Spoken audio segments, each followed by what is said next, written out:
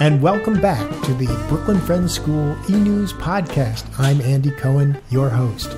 On today's show, we'll be hearing from students about their New Year's resolutions, and we'll be hearing about what's happening in the new year from Dr. Larry Weiss.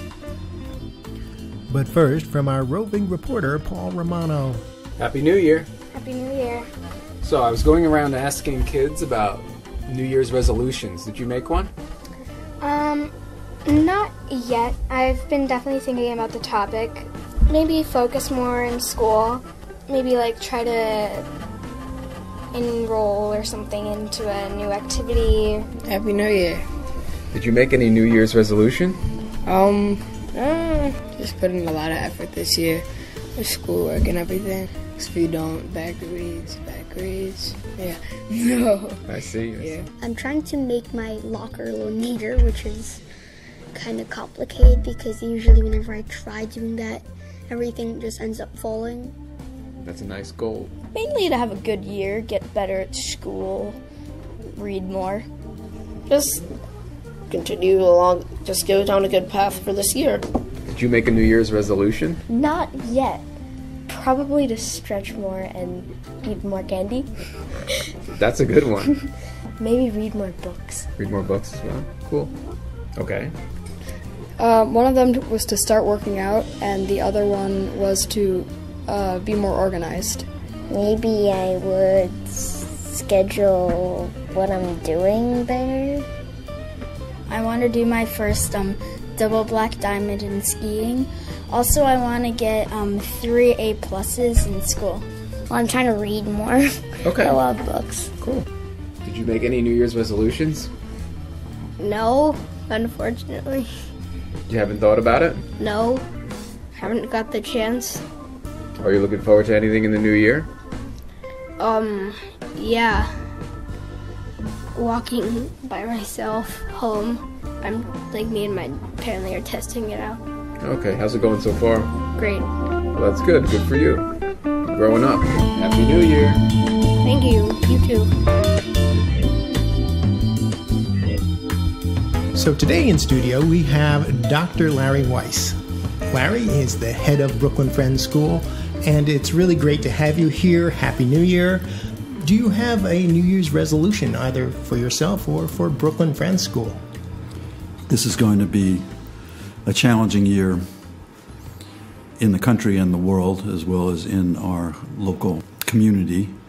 My resolution is just to help ensure that the school remains true to its values and is a place that not only students and faculty, but also parents and alumni and friends of the school can feel that Brooklyn Friends is a place that they can share their concerns, how we can really work together to see that our ethical commitments and our concern for that of God in each person uh, really can be sustained and nourished in a year where I think a lot of our fundamental assumptions are going to be challenged. The school really needs to come through for its community. So, what is the state of the union now that we're in January? Our enrollment is 910 students this year, 1617, which is a substantial increase from the 650 that it was in 2010 when I started here. And we are somewhere between 40 and 60 students away from the full enrollment that uh, our whole expansion program was based on. And so uh, we're looking at completing a growth cycle and then really looking at uh, sustainability as our next really big hurdle. How do we maintain the dynamism of the school with uh, an enrollment that's not going to grow very much? We made some major uh, staffing improvements on the administrative side in the middle school and upper school this year, and that's had a big impact. But I think we have a, a really great facility at this point. We have a great faculty. So, you would say that the state of the union is strong. I think it's strong. We, we're about to enter uh, the decision part of uh, an admission cycle where, at least for the ninth grade, which is where I put most of my attention, We have a record number of applicants and very, very strong and deep applicant pool, and that's an indication from the outside that the school is perceived uh, in a positive way.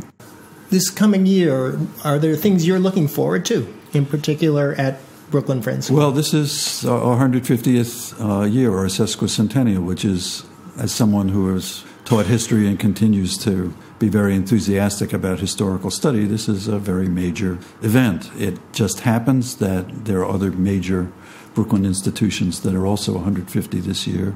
Prospect Park and uh, the Brooklyn Historical Society are both celebrating their sesquicentennials. And that reflects very dynamic changes that started in Brooklyn after the Civil War. Mm-hmm. So the sesquicentennial gives us an opportunity to approach and expand our relationships with a lot of the core constituencies that made Brooklyn Friends possible in 1867 and made its growth and development possible over the last 150 years. For me, the Quaker community has always been an important part of our constituency. I've tried as much as possible to encourage um, our commitments to Quaker values and our participation in Quaker institutions. We've got some uh, major uh, developments uh, there. We are co sponsoring with Mary McDowell the Quaker Youth Leadership Conference that will bring a very significant number of uh, students from other Quaker schools here.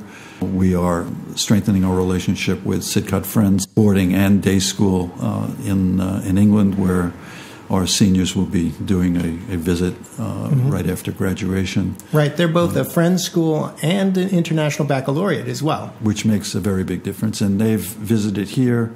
So, Larry, uh, how can parents get more involved in the sesquicentennial? The first time I've been able to say that correctly. Good. I'll keep trying. So the default is always the 150th anniversary. But in addition to the sort of Quaker side of things, I think that parents and alumni are two of the principal constituencies that we're looking to reach out to for the sesquicentennial. Just let me say a little bit about alumni first. I'm not sure how many people know that I taught here from 1973 to 1979, and so the classes of the 1970s and some of the early 1980s classes, I'm particularly looking at those classes uh, to get involved uh, with the sesquicentennial. Some of them were involved as younger students in the centennial um, in 1967. Wow. So it's it's an exciting kind of linkage.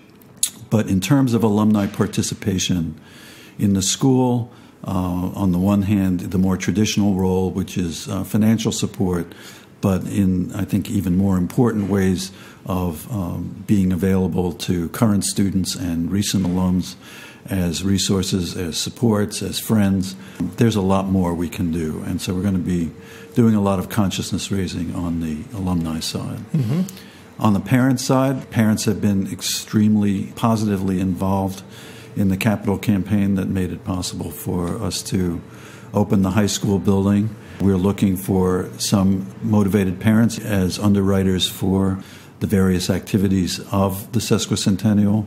In addition to financial support, a lot of those activities involve uh, community based organizations that we have parents, former parents, and current parents who are involved in.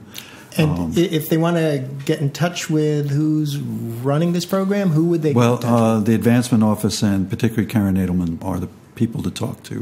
Where the alumni and the parents and the fundraising piece comes together is the fact that as we enter this sustainability period uh, after our major growth, we want to address one of the areas where competitively we are weakest in, term, in terms of a lot of our cohort schools. We are strongest in terms of scholarship support, but we are weakest in terms of endowment income that supports that kind of scholarship support. So we are going to have uh, some really uh, significant efforts to build a scholarship endowment as part of the 150th. We're really hoping that current parents, former parents uh, can be involved with that, along with alumni and our larger community. All right. So we're not only looking forward toward this year, but certainly for the next 150 years. Exactly. You know, clearly the next four years, eight years, however we look at it, are going to be challenging in a lot of ways. We just want to make sure that we can maintain our independence, uh, the independence of our curriculum, the independence of our uh, ability to um, act out of our values, and uh, we want Brooklyn Friends to just come through as uh, a real shining light, if you will, in, in the Quaker sense of uh, the downtown Brooklyn community and of our larger uh, Brooklyn Friends community. Okay. Well, thank you so much for being on the show today. But right. thank you very much for uh, giving me the opportunity to, to share this mode of communication. Thank you so much, Dr. Weiss. So I'm looking forward to the sesquicentennial, and I hope all of you will consider getting involved as well. So that does it for today's show. Please just remember to let your lives speak.